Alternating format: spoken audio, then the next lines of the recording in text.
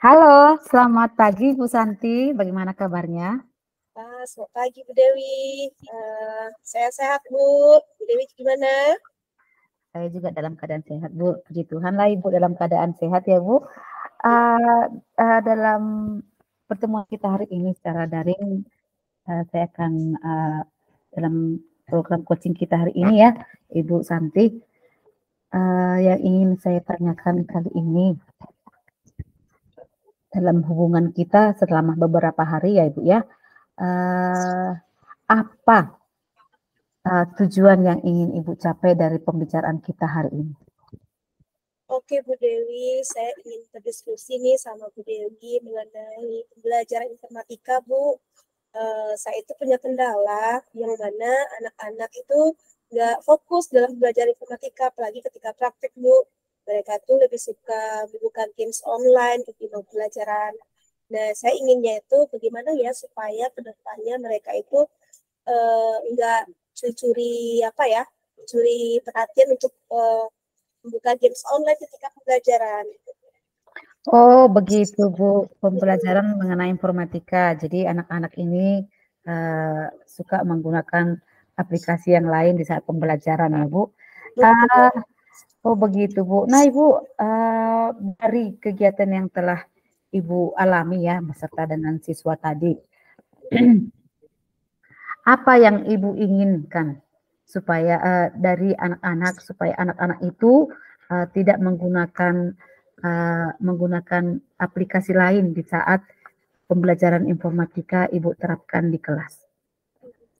Sebetulnya sederhana saya inginnya bu. Uh, saya pengen anak-anak itu ngerjain dulu pekerjaannya. Habis itu baru mereka boleh main gamesnya. Nah di, di waktu pembelajaran kadang itu uh, melanggar padahal udah ada kesepakatannya. Saya pengen kesepakatan itu betul-betul jalan gitu bu. Kalau memang 10 menit terakhir sudah selesai pekerjaannya baru boleh main games gitu bu. Jadi intinya oh. itu tanggung jawab dengan kesepakatan yang sudah dibikin Oh, begitu ya, Bu ya. Uh, nah, apa yang sudah Ibu lakukan terkait tentang uh, penerapan yang program yang akan Ibu sampaikan kepada anak-anak di kelas? Oh, yang sudah saya lakukan selama ini, Bu, berbagai permainan strategi-strategi pembelajaran ya, Bu ya, di kelas maupun di labor. Uh, kemudian kesepakatan yang tadi itu, Bu, saya sudah bikin kesepakatan supaya main gamesnya itu setelah pekerjaan selesai. Tapi anak-anaknya ini uh, ada juga beberapa yang melanggar gitu Bu. Jadi saya pengennya itu uh, ke depannya mungkin direview lagi kayaknya nih Bu. Sepakatannya yang di awal itu main gamesnya itu 10 menit. Ini kayaknya saya perlu programnya itu uh, kesepakatannya diberubah lagi gitu Bu. Direfleksikan dulu dengan anak-anak kayaknya Bu. Supaya nah. anak-anaknya itu itu Iya Bu. Jadi uh, apa yang akan uh, Ibu lakukan lagi nantinya? Setelah tadi Ibu melakukan kesepakatan kelas, nah apalagi yang akan Ibu lakukan supaya anak-anak itu fokus dalam menerima uh, pembelajaran informatika di kelas Ibu? Hmm, mungkin begini Bu, karena mereka itu suka games ya Bu ya. Mungkin saya cari aplikasi juga sih yang bisa uh, bernuansa games juga kayaknya Bu kan banyak itu sekarang. Saya pengen coba yang menantang dulu deh bu. Biasanya kan kahut atau visit bu uh, kayaknya saya saya cari aplikasi dulu deh yang bisa mengalihkan perhatian mereka.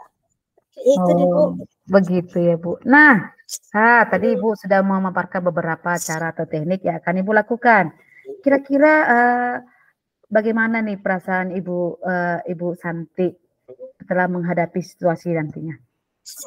Hmm, kalau sekarang sih belum itu ya Bu ya, belum kebayang gitu apa yang akan dilakukan anak-anak ketika saya nanti mencobakan games ini gitu. Mungkin saya coba dulu ya Bu ya, baru saya tahu nanti gimana ya. Tapi sekarang saya penasaran juga dan merasa menantang juga gitu Bu. Hmm. Karena mau menerapkan sesuatu yang baru buat anak-anak sehingga mereka itu uh, gamesnya dapat dan pelajarannya juga dapat gitu. Oke. Okay. Jadi banyak cara yang akan Ibu lakukan. Nah, ini Bu, selanjutnya apa nih yang Ibu ingin Ibu lanjut ingin laku uh, ingin, ingin Ibu lakukan lebih lanjut lagi ke depannya terkait dari eh, anak-anak supaya fokus dalam mendengarkan pembelajaran informatika di kelas Ibu? Hmm, uh, kalau pertama tadi kan kesepakatannya diganti ya Bu ya. Mungkin bisa bervariasi, nggak harus di akhir gamesnya. Uh, bisa jadi di awal dulu gitu, atau di tengah. Nah itu pertama Bu. Yang kedua uh, strateginya mungkin ada yang challenge gitu, siapa yang duluan selesai, atau siapa yang lebih uh, kelompoknya semangat atau berkelompok bertim gitu Bu. Biasanya kan di video individual, tapi kalau tim kayaknya lebih seru gitu. Kayaknya gitu uh, deh Bu. Uh, oh begitu. Uh, apakah kira-kira ada lagi pilihan yang lain selain yang Ibu terapkan hmm, tadi? Pilihan yang lainnya kayaknya itu dulu deh Bu. Oh, saya cobain. Nah, kayaknya itu uh, lebih menantang gitu.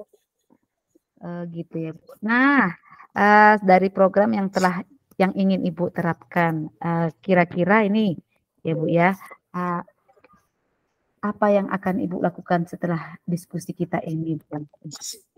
Setelah diskusi ini, pertama-tama saya rancang cari gamesnya dulu Bu, yang seru, yang ada nuansa pembelajarannya. Eh, lalu eh, saya cobakan dulu gitu ya, eh, sebelum pembelajaran di kelas saya yang itu, yang yang sering anak-anak itu melanggar gitu. Jadi saya cobain dulu, saya bikin dulu gamesnya Bu dengan aplikasi-aplikasi yang baru gitu. Oke, okay. kapan kira-kira Ibu akan menerapkan program yang akan Ibu sampaikan ini? Uh, minggu depan kayaknya Bu, pas banget momennya tuh, minggu depan, Rabu depan Bu. Rabu uh, depan, ya, ya. ya. Ah, jadi saya semakin menarik ini mendengarkan uh, bagaimana hasilnya dari program yang akan Ibu sampaikan nantinya. Uh, saya akan melihat lagi minggu depan, saya akan uh, hubungi Ibu lagi bagaimana program ibu itu berlangsung di dalam kelas. Uh, nah, berhubung karena waktu juga yang membatasi kita, Ibu ya, ya Ibu Santi ya. Nah, dari yang telah kita perbincangkan tadi ya Ibu Santi ya, uh, apa yang sudah Ibu dapat dari kegiatan sesi kita kali ini?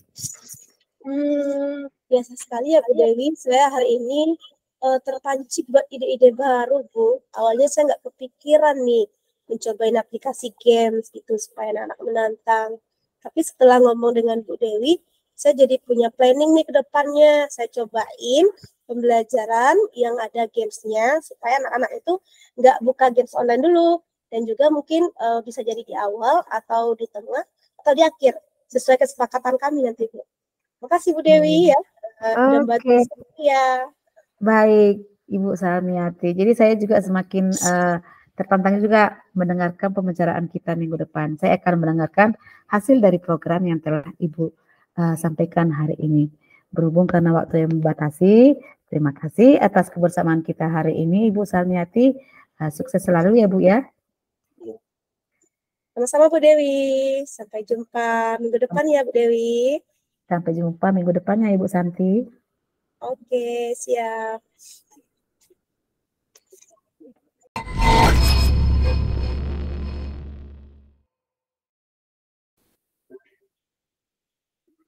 Mulai ya Bu Dewi.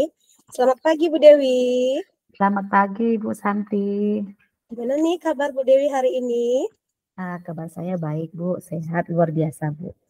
Oke, sesuai janji kita minggu yang lalu ya Bu ya. Hari ini kita uh, sesi coaching ya Bu. Iya Bu. Uh, Oke, saya mau tanya ke Bu Dewi, kira-kira hari ini kita mau diskusi apa ya Bu ya? Uh, hari ini yang ingin kita diskusikan itu Bu mengenai uh, kedisiplinan kedisiplinan uh, untuk hadir di sekolah Bu. Oh, oh berarti kedisiplinan guru ya Bu ya? Atau iya. seluruh warga sekolahnya Bu? Seluruh warga sekolah baik guru maupun siswa Bu. Oke, kedisiplinan. Wah, menarik sekali ya Bu ya. Uh, semoga dengan percakapan kita hari ini kita sama-sama bisa uh, menemukan solusi bersama ya Bu ya terkait kedisiplinan. Iya, uh, Bu. Saya mau tahu dulu Bu Dewi, kedisiplinan menurut Bu Dewi itu seperti apa gambarannya? Kedisiplinan uh, kalau yang saya ketahui Bu, uh, kalau disiplin itu itu merupakan uh, rasa kepatuhan terhadap aturan ataupun pengawasan dan pengendalian diri.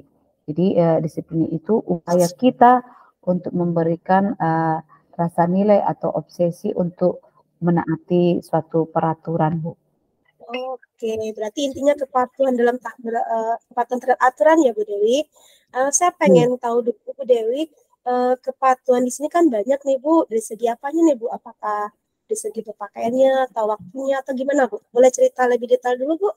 Disiplinan dari segi kepatuhan apa nih yang pengen Ibu capai?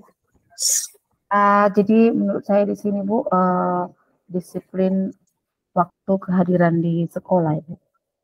Oke, kehadiran. Wow. Kehadiran ya Bu. Menarik nih Bu. Ini memang banyak ya Bu ya masalah kehadiran ini. Uh, kalau diberi presentasi nih Bu Dewi nih, kira-kira poin pelanggaran kehadiran di sekolah Bu Dewi ini dalam rentang 1 sampai 100 berapa persen nih yang melanggar nih Bu? yang melanggar itu paling hanya dua persen saja. Wah, dua persen ya Bu Dewi. Berarti mau jadi nol persen nih kira-kira targetnya iya. Bu Dewi ya? Rencana saya nol persen Bu. Oke, nol persen. Baik. Berarti Bu Dewi ingin mencapai uh, tingkat kedisiplinan guru-gurunya sehingga nggak ada lagi nih yang telat mungkin ya Bu ya yang nggak hadir. Iya betul Bu. Oke, saya pengen tahu dulu Bu Dewi selama ini yang pernah Bu Dewi lakukan itu apa aja programnya supaya guru-gurunya ini uh, taat terhadap aturan khususnya mengenai kedisiplinan waktu gitu Bu. Yang udah pernah dilakuin sepanjang apa nih Bu Dewi? Kalau yang telah kami lakukan di sekolah ya Bu ya, karena kan uh, sebelum masuk tahun ajaran baru itu kami sudah membuat uh, tata tertib beserta uh, uh, beserta kesepakatan di antara guru dan kepala sekolah sesuai dengan uh, penilaian kinerja tahunan. Kemudian iya Bu, uh, uh, kemudian kami juga membuat uh, kesepakatan itu di di sekolah dengan Bapak dan Ibu guru dan juga dengan uh, anak murid Bu. Oh, dengan murid juga ya, Bu ya? Oke. Iya, Bu. Berarti selama ini Bu Dewi sudah ada banyak program nih, ada kesepakatan ya, membuat kesepakatan, kemudian dikaitkan dengan penilaian kinerja. Nah, kira-kira dari uh, beberapa aturan dan program yang sudah Ibu Dewi rancang ini, yang mana yang paling sering uh, gimana ya, yang dilanggar gitu, Bu? Yang bagian mananya nih dari aturan ini yang nggak terpenuhi eh, seratus persen gitu. Bagaimana yang yang tidak terpenuhi ya Bu, yang tidak terpenuhi itu 100% itu uh, tata tertib yang ada di sekolah yang oh. sering dilanggar oleh uh, Bapak dan Ibu guru. Kalau hmm. mengenai uh, uh, mengenai perjanjian kinerja itu mungkin ada dikaitkan dengan disiplin uh, mengenai perjanjian kinerja mereka uh, 100% mendukung seperti itu Bu. Oh. Berarti mengenai tata tertib ya Bu ya, salah satunya iya. boleh nggak Ibu ceritain? Uh, kan banyak itu poin tata tertib yang biasanya dibikin dalam satu sekolah. Poin apa Bu yang paling sering dilanggar? Contohnya apa nih Bu Dewi? Kira-kira poinnya dari tata tertib ini nih, misalnya apa gitu Bu Dewi?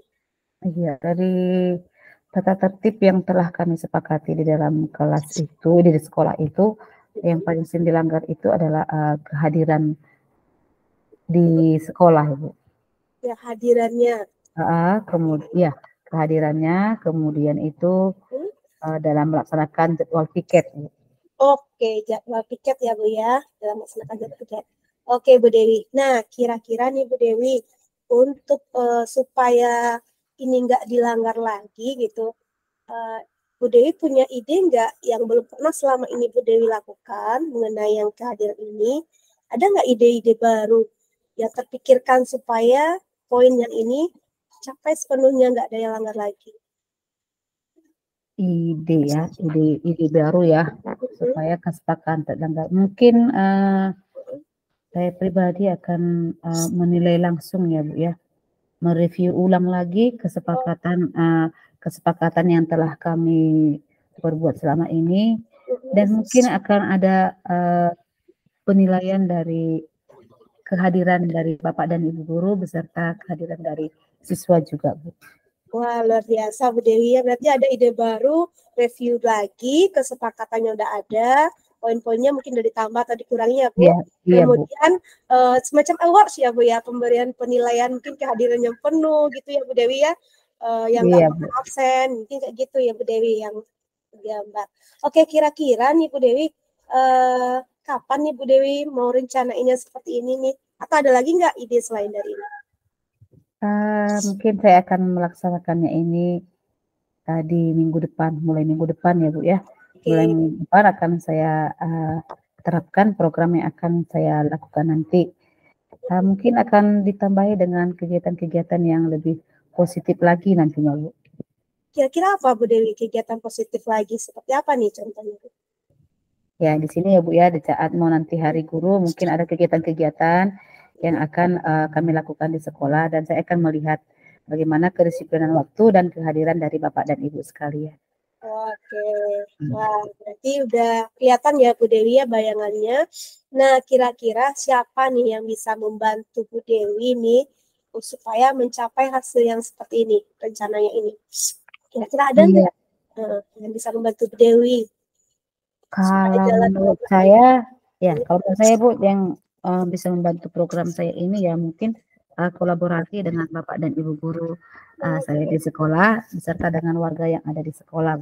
Jadi oh. semua harus saling bekerja sama dan uh, untuk mewujudkan dari uh, program yang akan saya sampaikan. Demikian Bu. Oke, luar biasa ya Bu Dewi. Berarti intinya kolaborasi. Bisa jadi Bu. Dewi nanti kolaborasi sama wakilnya ya atau yang lainnya. Iya Bu. Uh, Baik. Nah, kira-kira mau dijalankan kapan nih Bu Dewi? Uh, ini kegiatannya ini, rencana ini mau tindak lanjutnya kapan nih? Ya, jadi sebelum saya uh, menerapkan nantinya mungkin ada beberapa hari ke depan ini saya akan melakukan uh, diskusi mungkin beserta dengan Bapak dan Ibu guru dan akan melaksanakan program ini untuk minggu depan, Bu. Oke, minggu depan. Wah, saya merasa tertantang sekali nih dengar cerita Bu Dewi nih setelah uh, ngerjain nanti uh, program yang ini. Oke, Bu Dewi, karena keterbatasan waktu, jadi dapat kita simpulkan hari ini perbincangan kita.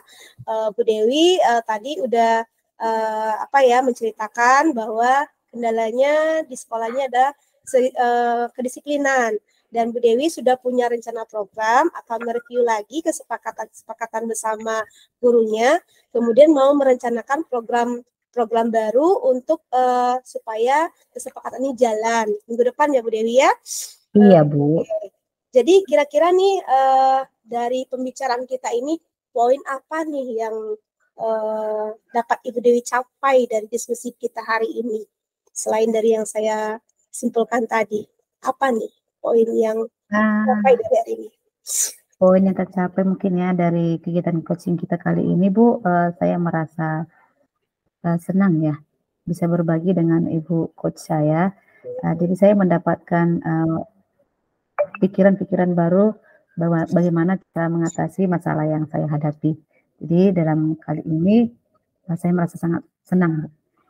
Oke, wah luar biasa Bu Dewi ya. Saya juga senang hari ini uh, dapat kita saling diskusi juga. Saya dapat juga ilmu-ilmunya.